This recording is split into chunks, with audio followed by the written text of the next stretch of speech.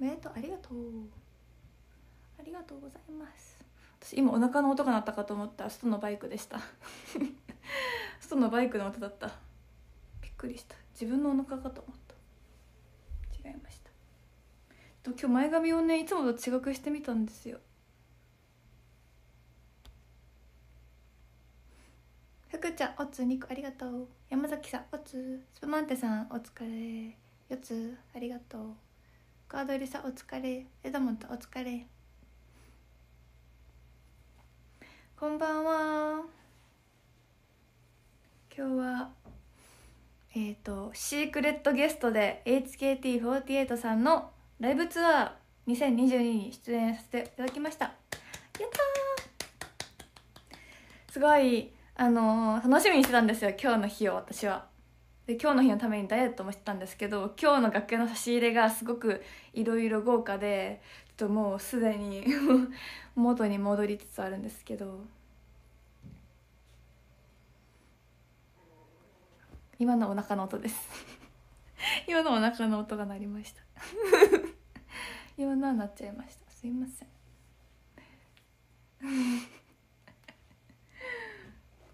たこ焼きねマネージャーさんが買ってきてくださった。しかも2店舗もあって塩たこ焼きとソースたこ焼きと買ってきてくださいました。嬉しい。1個ずつ食べた。1粒ずつ。しんちゃんさんいかきくまちゃん10個ありがとう。ふくちゃんブラボー。パンのみさんかわいい。ゆうたくん最高。最高最高最高最高。ありがとう。陣内さんお疲れ。森健銀河さんバラありがとう。イェイイェイ。イェイイェイ。こんばんは。もうふうふうって感じです。ちょっと待ってね。前髪を前髪を。はいなんかついてないかな。帰りねりんことサーヤンとアイス食べたんですよまた。この前あの大阪のお話し会の時にみほりんとサラピと食べたアイスを今日はりんことサーヤンと食べました。美味しいクレミアのアイス。クレミアのカップをね 買っちゃった。明日やばい。明日宮島なのに。ちゃんとむくみ対策して寝なきゃ。可愛くみんなと会いたいからね。しんいちさん誰もありがとう。コーヒー飲めないのは理由があるんですよ。あの歯の矯正器具の関係で飲めないんですよ。そうコーヒーそうねえコーヒーの話したいんですよ。もうちょっと今日の私のついてない話も聞いてほしいけどその前にライブの話も聞いてほしい。どっちにしようかな。ひろちさんいいねありがとう。ターンさんアイスありがとう。おみかんさんアイスありがとう。こんばんは。いや本当にじゃあまず今日の朝からあった話聞いてください。まずねスタバに行ったんです朝から。サーヤンが行くって言ったからついてって私もスタバを頼もうと思って人生で初めてずっとキャラメルキャラメルフラペチーノを飲んでみたくてであのちゃんとどキャラメルフラペチーノブレベミルクチョコチップ追加のチョコチップ増量でちゃんと注文したんよしかも追加してるから追加料料金もかかってるんですよで受け取ってよし集合場所行くぞって時にパーンって手から離れてって飛んでってお店の中にバーンって全部フラペチーノが真っ逆さまに落ちて「ごめんなさい!」ってなって「すいません!」ってなんか「大丈夫です大丈夫です」って言って掃除してくださって「作り直しますね」って言われたけども時間がそう私いつも30分前に着くんですけど今日はそんな早くなくても大丈夫だよってねなってね。そう。もう珍しく。今日に限ってよ。いつも私一人で行く時は30分前に着いてない。今日は今日に限ってもうもう時間がってなってて。そう「大丈夫です」って言ったら「じゃあ代わりにこれを」って渡されたのがアイスコーヒーでコーヒー飲めないですね。その矯正とかの関係もあるし。そう。私がお子ちゃまだからっていうのもあるんですけど。飲めない理由があってそう。あありがとうございますってもらってでごめんなさい。ひっくり返しちゃう。なんか電話しあ電話したんですちゃんと事前に。あの時間より前に「すいません今スタバでフラペチーノひっくり返してしまって」って言ってマネージャーさんに電話しててそしたらみんななんかクスクスみたいな感じで迎え入れられてマネージャーさんも「めっちゃズボンフラペチーノまみれじゃん」って。言われてもそうズボンもさフラペチーノまみれてさはあってなっててで今日あ今日ついてないかもしれないって思ったんですねまずそこで。で HKT さんのライブが終わって終わって楽屋に戻って沖さんと喋ってたらペットボトルの蓋を開けずになんか「ここのイムジからのこの振りのところって」みたいな話をしてたんですよ振り返って「このところの振りが」とか言ってたら手がバーンって当たってペットボトルがピョーンって飛んでって私のあの衣装だったんですけどその時。私が着てきた私服に全部水がかかってペットボトルにバーンってはっってなって。なんて。そうついてなかったの。で今日はそう大阪の駅の中で駅でさあの帰りのお弁当夜のお弁当持って帰ってきたんですよ。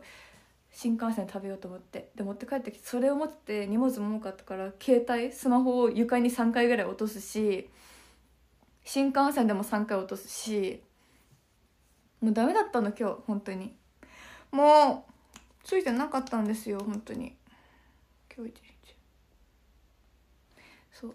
で「大木さん」って「大木さん私今日もついてないです」って近づいてったら「大丈夫だよ」ってなんか PR 舞台に入ったのが運が良すぎたから今その代わりが来てるだけだよって言われてこれ何の励ましなんだ励ましなんだろうかっていうね。HKT の推しメンは駒田寛香さんです。ずっと言い続けてます。そうなってそうなんですよいいなんかその運の良さを前借りしてるだけだから今今ちょうどなんかそれでこうて何？こう天秤じゃないなんていうこういうあれを埋めてるみたいな感じのこと言われて。そう。そうなんですよ。悲しい！もう私悲しい。落ち込んでるもん。ででもその分今日はいいことがあってるからまあいいんですよ。HKT さんのライブに出演できたっていうのがすごくそれ以上のいいことだからいいんだけど全然。でもさ一日の始まりよ。集合時間でそれやらかしてるから。で終わった後もそれだからもう一日の始まりと終わりがそれだからそれのもんだからちょっとなんかライブの楽しさうわーって。ライブの楽しさ全然カバーできるほどのねあのしょぼんだけどでもなんか始まりと終わりでなんかオセロされてるもんだからさ なんかなんかモヤモヤしてます。モヤモヤピエーン。福ちゃんファイターありがとう。え愛知さんと喋れなかったんですよ。お話ししたかったんだけどでも今村マリアさんとお話ししました。でもお写真は撮ってない。お写真誰とも撮ってないんです。言えなかった。なんか千穂さんとかあかりんさんとかはもともとコロナ禍になる前とかに他のグループさんとの交流があるし沖さんとマイケルさんも同期の方いるから交流あるじゃないですか。でサーヤンもアイチーさん市村愛理さんと交流があるんですよ。ツイッターとかでも絡んでたし。そうあるんだけど私はないからどうしようって思ったら凛子が「え凛子絶対なんかね凛子私行けない」とか言ってたのに急に急にねとか隣からピューって言って「好きなんです」とか言い始めて「いや待ってよ私待って」と思って「好きなんですお写真撮ってください」って言い始めて私「え？っ?」と思ってそれを見てたんです ねえちょっと本当にささあ世当たり上手というかさあ ちょっとさもう本当にびっくりしたから。そうマラソン大会一緒に走ろうねのやつを隣で今間近で見た気分だった。そうそうそうそう。勉強してないって言ってテストでいい点取るみたいな。そう。えー、と思って「好きなんです。本当?」ってなって。それ見てましたずっとボーって。山村マリアさんとはあの前ショールームでコメントをもらって私も行ったことがあるんですよ。駒田さんつながりで。だからああのなんか前にショールームでコメントをさせてもらってみたいな「お先です」って言ってお辞儀して終わりました。お互い「ああみたいな「あありがとうございます」って感じでお辞儀して終わった。お写真お願いできなかった。私秋吉さんともう撮りたかったんです。秋吉さんとおいもちゃんさんとそう愛知さんとマリアさん撮りたかったんですけど行けなくて。でも本当はリコピさんリコピさんとね撮りたかったけど今日リコピさん出演メンバーじゃなかったからお会いできなくって。あと関愛さんもね今日いらっしゃらなくて。もし関愛さんいらっしゃったらあの撮ってもらいたいなって思ったんですけど。そうい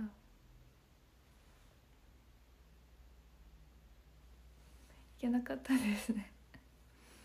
そうなんです。駒田さん。そう。駒田さんつながりで。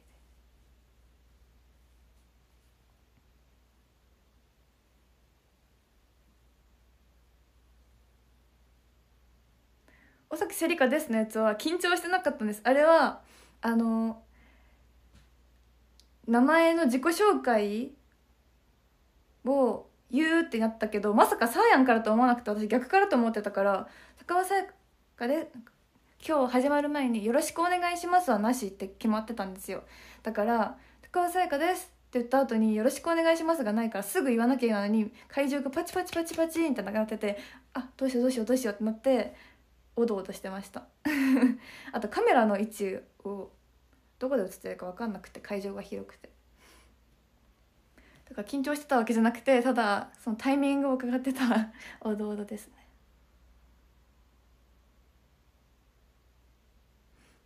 そう。どこかどこから撮られてるか。カメラの位置だってあの出てきて曲中もどこどこで撮ってるか切り替わりとかがあの STU のライブだったらこの歌詞割りだったらこの自分の歌割りでここで抜かれるっていうのは分かるけど初めてのね HKT さんのライブだったからどういうカメラワークなのかとかも分かってなくて。もう会場が開いとね赤いランプとかも分かんないんですよ。カメラが遠くにあるから。分かんないのよ。僕隊とかのエディオンさんとかでもギリ分かるぐらいの感じマリケン銀河さんバラありがとう。そう。私今日「花は誰のもの」初披露で唯一私だけ。唯一緊張してました。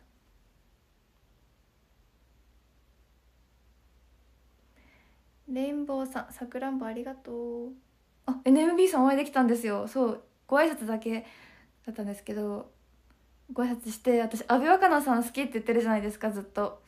阿部若菜さんいらっしゃったんですよ今日。めっちゃ嬉しかったけどその「あ STU です。よろしくお願いします」って言ってもうすぐ NMB さんお昼声に出演されててすぐもう帰られたのでその一緒だったんですけどお会いできてめっちゃ嬉しかった。やったカー。ドリさん最高ありがとう。そうチーム M さんが来てました。そう。めっちゃ嬉しかったです。あのなんかいえなんかしゃべ喋りかけていいものか分かんないじゃないですかそういう時って。後輩だし。そういうなんかグループ間のルールとかも分かんないから握手会とかで会ったりとかも今まで一回もないんです2期生って。入ってすぐコロナ禍になったので。だからその他のグループさんとお会いする機会もないから勝手に喋ったりしちゃいけないかなと思って。高尾炭治郎さんありがとう。なっちゃんと変えた？松岡夏美さんですか？松岡夏美さんなんとね夢力で肩を触りました。夢力の一番最後が隣が松岡夏美さんでこうさこうくっつく振りがあるんですけど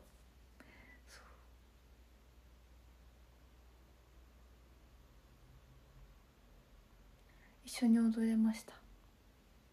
嬉しい。中田さん絵描きくまちゃん10個ありがとう。今日ね久々にチケセン開いたんですよ。チケセンの推しメン登録を見たらもうすごい歴史が詰まってた。私の推し遍歴が詰まってましたね。詰まってた。一番最初の HKT さんを一番最初好きになった推しメン登録が松岡夏美さんだった。あほどけちゃった。触ったら。松岡夏美さんと田中夏美さんに設定してた。あと本村葵さん。私あの多分2期生が入る前かな。え HKT さんの2期生が入る前はそう。そうなんですよ。で駒田さんになってた途中から。今でもずっとゆきりんさん継続されてました。ずっと推しメン登録されててで STU の推しメン登録してなかったんですよずっと。だから今日自分にしといた。今日から自分の推しメン登録にしました。チケセンチケセン使う機会メンバーになってからなかなかないけども登録しときました。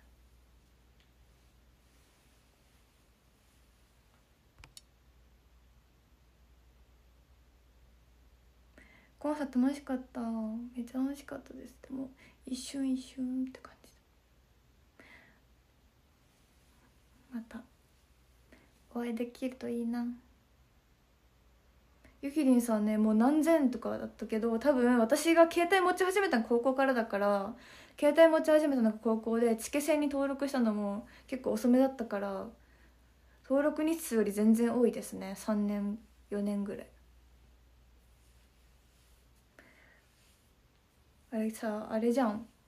登録した日からじゃないですか。何月何日におしめになったとかじゃなくてさスマホを持ってなかったら登録できないから。正確な日数は分かんないけど中1からずっと好きだからゆきりんさん。結構長いと思います。134から好きってことはもう10年以上だね。10何年とか。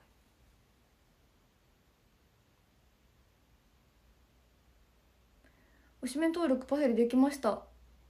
ジロくんおつありがとう。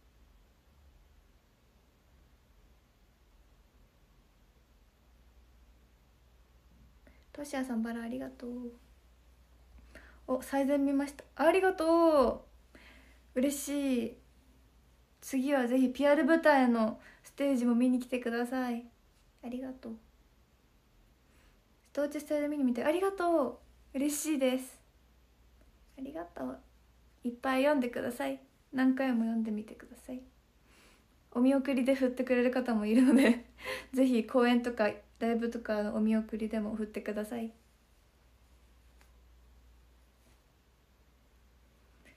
あちょっと結べないや。このタイプだから。ほどけちゃった。うん。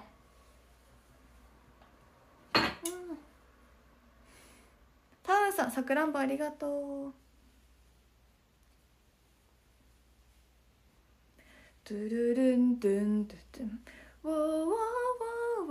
もうさ楽屋でお昼声も見てたんですけどモニターで。私さ私とサーヤンだけガチ勢すぎてさ「えこの曲この曲」とか言ってめっちゃさ湧いててさ。でなんか先輩とか「この曲なんて曲?」って聞いたら「これなんとかって曲です」「今ずっとこだれ」って言ったら「なんとかちゃんです」なんとかちゃんです」って全部説明してました。何期生です」とか。全部説明してた。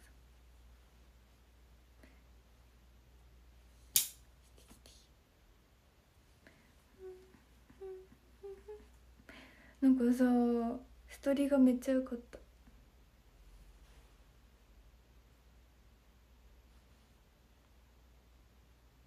そうなんよ。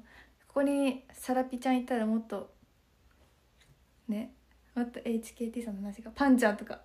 えパンちゃんにね今日出ることじゃなかったんですよ。絶対びっくりしてるだろうなと思う。ファンちゃんにもシークレットだったからさ。でも一緒になんかあやぱんと前お仕事の帰りに HKT さんの劇場の外観だけこう見に行ったことがあっていつだったかな。結構最近 PR 舞台が決まって3月か2月ぐらい。3月かな？にあやぱんとね行って次は2人で PR 舞台に入ったら絶対このステージに立とうねって約束したんですよそこの HKT さんの劇場の前で次は2人で一緒にステージ中に入って立とうねって約束してたからなんかさ なんかもう今も泣きそうになってきちゃった。なんかねそう。約束してたんだ。かここに来ようねってまた2人で次はメンバーとして来ようねって。その時は お互いノーメイクマスクに眼鏡ボサボサ髪だったから 次はちゃんとした格好で来ようねって。しんいちさんハートありがとう。またそう。またね機会があったら。出張公演も行けたらいいな。決まったらいいな。無事。黒さんお疲れありがとう。今日そう最高の日になりました。今日は差し入れお弁当の夜ご飯が中華でチャーハンチャーハンにミートボールに春巻きに唐揚げに麻婆豆腐にすっごいいろいろ入っててめっ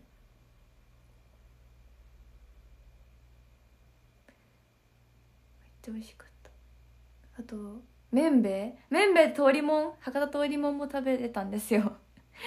そう HKT さんからの差し入れでめんべいと通りもんいただいて美味しかったです。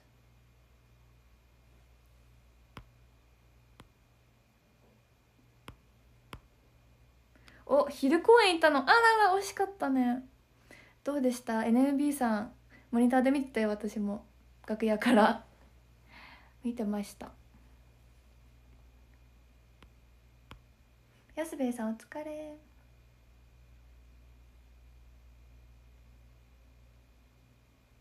そう通りもん。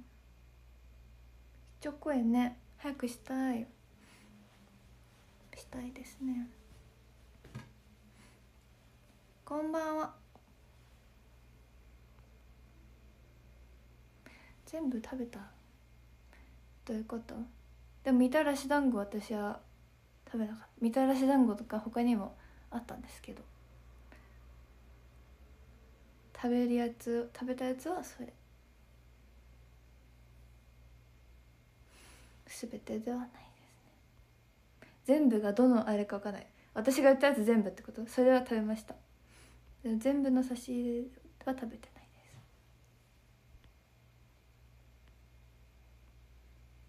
お直接お話から始めましてします。分かった。待ってます。待ってるね。ありがとう。おめでとう。そう博多土産。めんべい久々食べた。通りもも久々食べました。イエイイエイ。そうみたらし団子の仕入れもあったんですけど私はあんまりお団子が食べれなくて。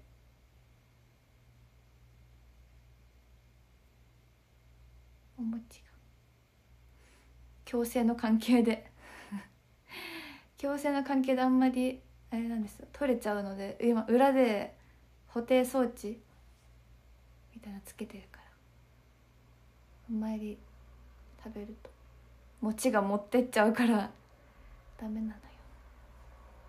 コーヒーもカレーも餅も食べれないことはないけどそうあんまり食べたらっていうねいろいろ制限があるのですね。表側矯正してた時よりは減ったけどそれでもね矯正新たに始めてないですよ。過去のやつ。裏にずっとついてる。3年間あの動動くの戻るのを防止する針金がついてます。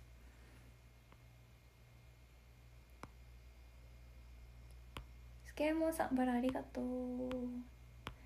プーさん竹しどくまちゃんありがとう。551ナイス。食べてないよ。食べてない食べてないです遊びに行ってないよ。観光じゃないから。プーさんラブレターありがとう。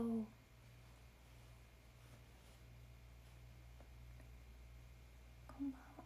明日は朝早くないです。全然。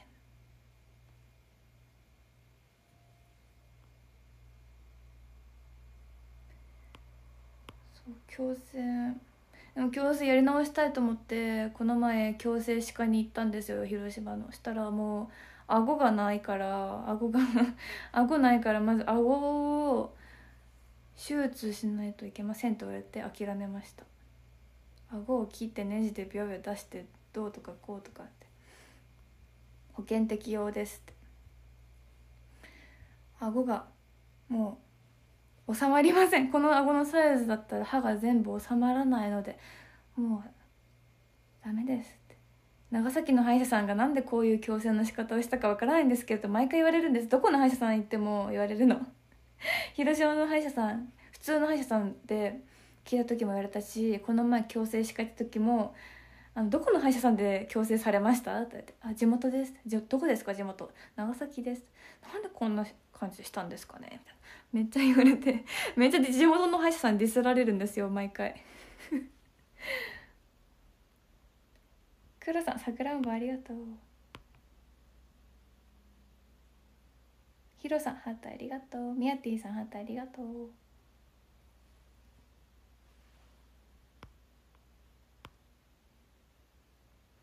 そうなんですよ。だからもうできないみたい。治らないみたいです。これ以上。もう最大限の力は出してくれたと思います。歯医者さんも。ミヤティさんハート100ありがとう。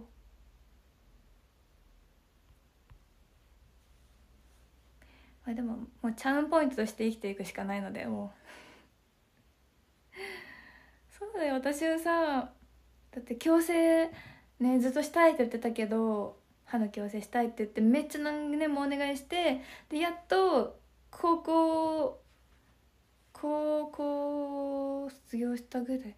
何歳？十何歳？10代後半でやっと自腹で自分のお金だったらってことで自腹であの働いたお金とかで歯医者さんにめっちゃ高いお金かけて行ったのにさディスられるのなかなか辛いもんですよ。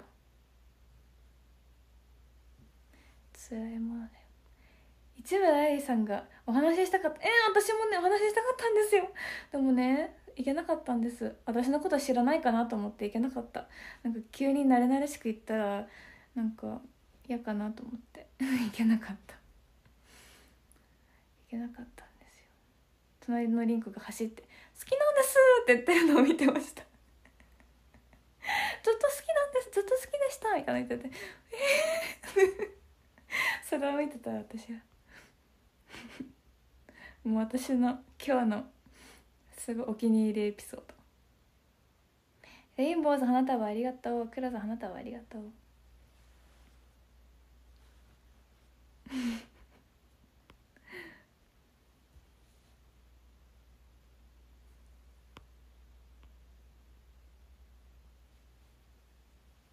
そう本当に面白くてずっと見てた。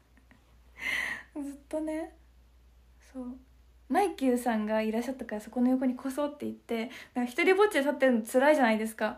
他の HKT さんのメンバーさんと ST のメンバーがなんかこう「わーわー」とか言って「久しぶりです」とか千穂さんとかあかりんさんとか沖さんとかここで喋っててああすごいと思って。でも一人でポツンっていたらなんかすごい孤独を感じたからマイキューさんの影に隠れて立ってました。私そこから見てたずっと。絶対不思議だっただろうなマイキューさんも急に私が近づいてきて。山崎さんはいと4つありがとう。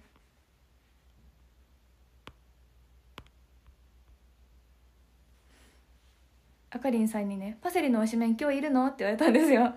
パセリの推しメンのあのパセリのニックネームの由来になったピーちゃんさん今日いるの？って言われて「あ卒業したんです」卒業したんですって言ったら「え？って言われて。なんかメンバーになってから会ったことある？って言われたあ入る前に卒業公演に行ったのでないです。って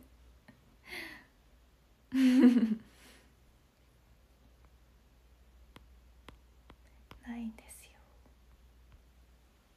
え今日坂口莉子さんいらっしゃらなかったからそういつか坂口莉子さんね芋夢中芋夢中芋夢中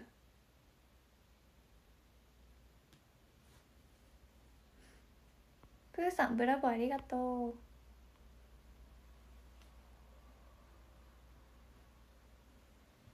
栗原さえさんいらっしゃってめっちゃ美しかったです。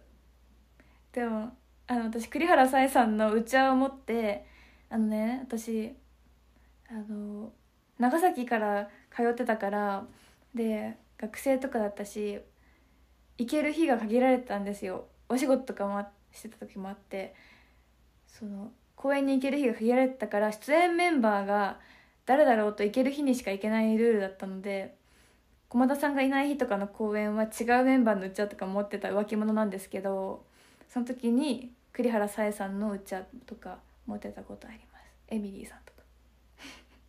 作って持ってってた。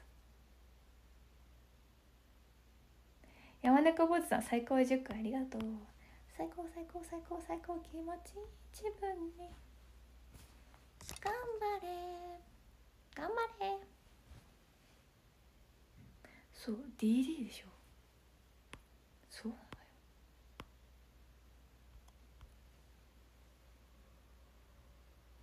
でも気持ち分かってくれるでしょ。推しメンがいない時とかでもなんか作っていきたくなるじゃん。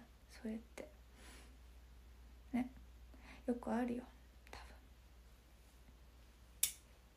もう髪の毛ポニーテール取れちゃったから。でも今日はもうポニーテールカチカチじゃないからお風呂入りやすいです。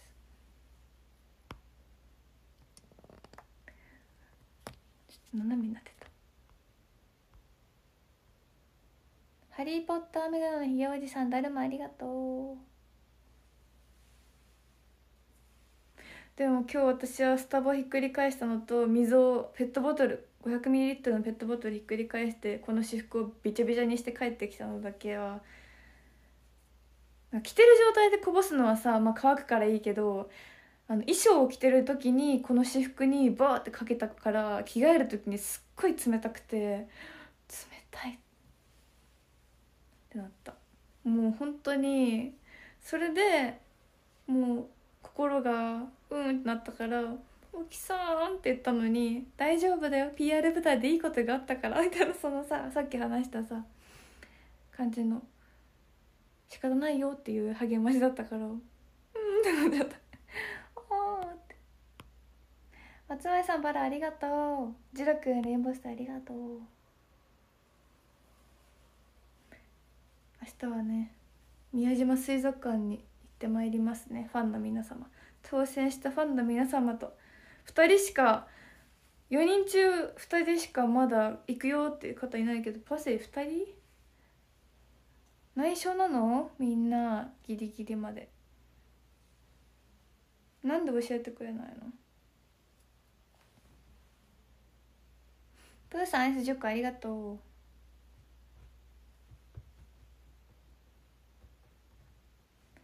う。なんで教えてれないんだ。ろ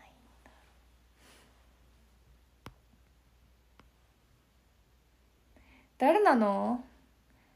今ちょっとじゃあみんな目つぶって。みんな目伏せて。伏せていい？いいですか？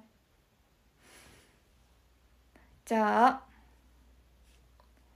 私だよって。僕だよって人は手を挙げてくださいね。はい。明日パセリと宮島水族館行くよって人。これ分からんな。分からんな。え？ガチかな？ガチっぽい。え？ガチ？ガチのあれですか？ね待って分からん。分かんない。みんな本当に目閉じてるから急にコメント欄流れなくなっちゃった。ああ真面目な人が多いルームだ。わ4人以上いるわ。4人以上いる。あれ？バスリだけ特別枠ある？もしかして。私もさ私もちょっと沖さんの申し込めばよかったな。いいな。ファンの皆さん沖さんのファンの方は沖さんと水族館デートするんですか？いいな。いいないいな。パセリも混ぜてよ。混ぜてくんない？嫌ですか？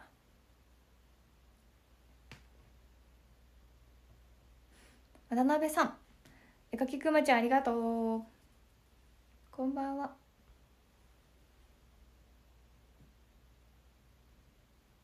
誰だ？服をね2着で迷っとるんよ。今壁にかけてるんですけど2着。どっちにしようかなって。右か左。どっちがいいと思う？みんな。みんな見えないと思うけど。あれかそれ。どっち？どっちだ？左？どっちから見て？服から見て？パセリから見て？ロングさん風呂敷ありがとう。どれがいいかな？左？左がいいんですか？右？どっちの右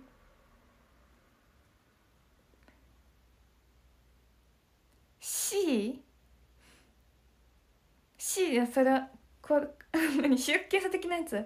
どっちが空いてますか的なやつ？それとも第三の選択肢ってこと？え悩んでるよ。これ今回はガチで悩んでる。なんか女の言うどっちがいいは決まってるけど今日のパセリの言うどっちがいいは決まってないどっちがいい？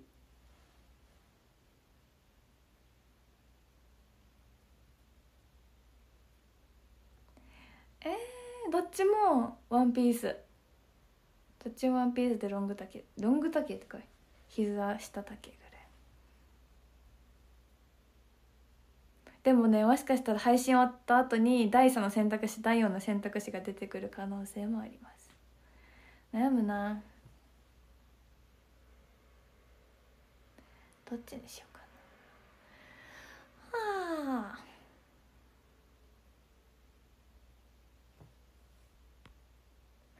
そっか雨だよね。雨でも大丈夫。え片方デニムなんですよ。デニムのワンピースってちょっとさ雨に濡れてちょっとなんか生乾き臭したらちょっと困らない？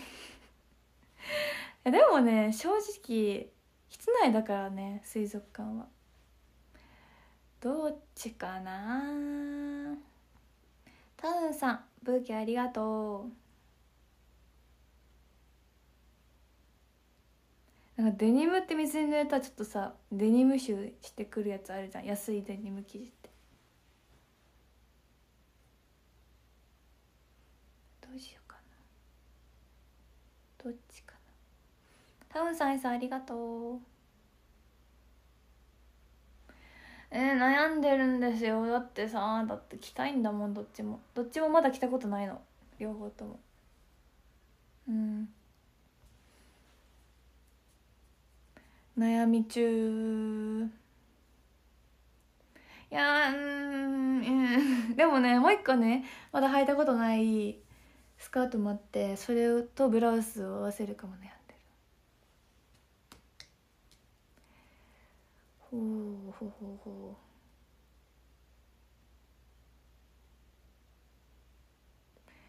直接お話し会は、まあ、服ねあの決まっとんよ。直接話し会は服決まってるというか私が決まってるというか何を着るか決まってるんですよ。もうだから着る機会ファンの方と会う時に着る機会ってなかなかないからオンラインとかだったらあるけどどっちにしようかなと思って。美穂ちゃんに送ろうかなと思ったけど多分寝てるんですよね。もう寝るよね多分。早寝だから。というか今日もう終わっちゃうじゃないですか。一日が。早っ。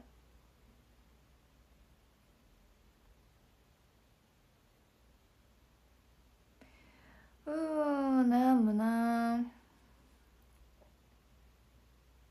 ジェノラニカエグレさんバラありがとう。前髪切ってないです。伸びてます。伸ばしてます。巻いてます。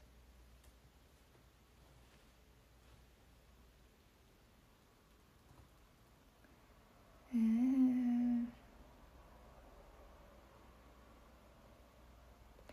何着よっかなでもあさってもお仕事で私服がいるんですよ。だからそれも悩んでる。そのあさってのやつで着るものと明日着るものどっちにするか。迷ってる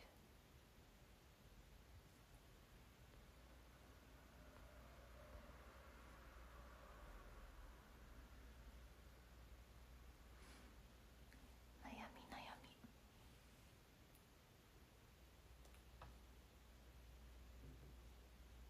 でもねなんかアイドルのあるあるだけどさ1回しか着てないのに1回しか着たことないけど自撮りとかで何回か見てるからいつもそれ着てるよねって言われるあるあるがあるんですよ。あるあるじゃない？結構えこのメンバーってこの服のイメージっていうのあるけど実は1回しか着てないみたいな。あるある。メンバーとか共感してくれそうだけど。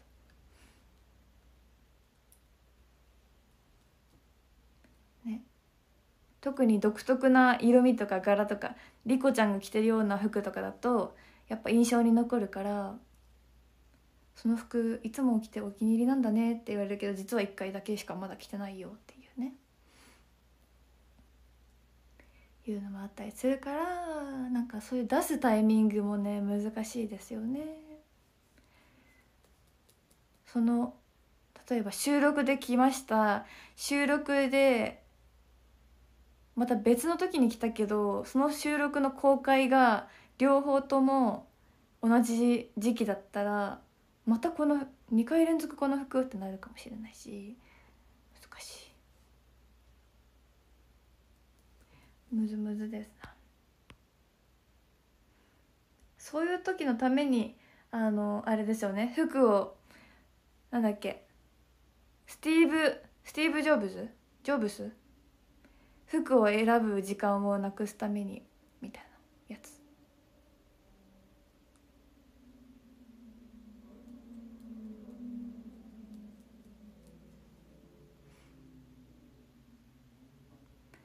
ね。やっぱ白 T とかだといいのかな。スティーブ・ジョブズか。シンプルとかで言ったらいいんかな。こんばんは。確かにカズレーザーさんとかもそうだよね。確かに。じゃあ私もなんか同じようなもん 同じようなやつをいっぱい買いだめしたらいいのか。でもそしたらパセリ洗濯してるって言われそう。してるよ。してますよ。してるんだから。そろそろ男女読んどくか。でもなんかこのタイミングでいつもね24時まで配信する時さ男女読むタイミング迷う。今変わったばっかりですか？変わったばっかり？いいかな読んであって。変わらないかな？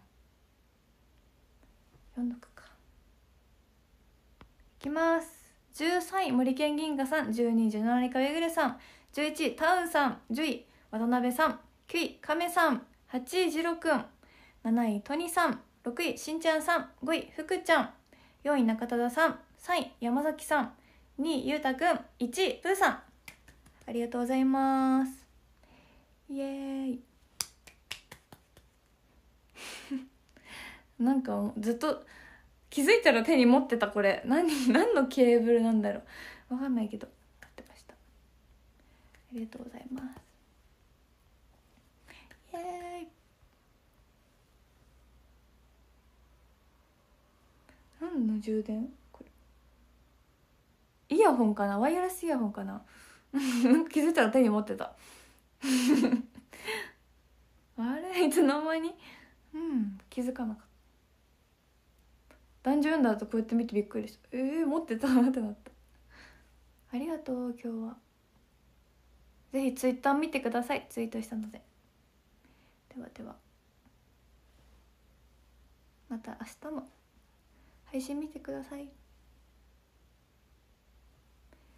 また明日。おやすみなさい。バイバイ。